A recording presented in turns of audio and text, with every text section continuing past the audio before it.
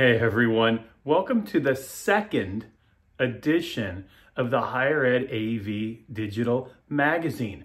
I'm really excited that uh, to bring this to you today because the outpouring I received over the first edition was incredible.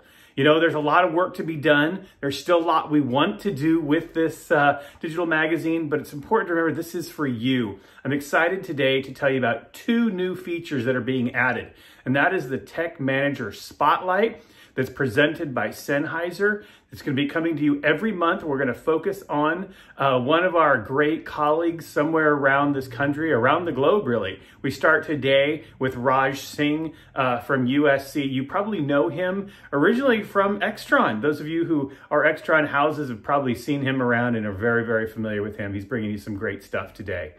Also, we're bringing you the people on the street column. I made a call out uh, to answer the question, what uh, were the lessons you've learned over these last few months? And we got some great responses.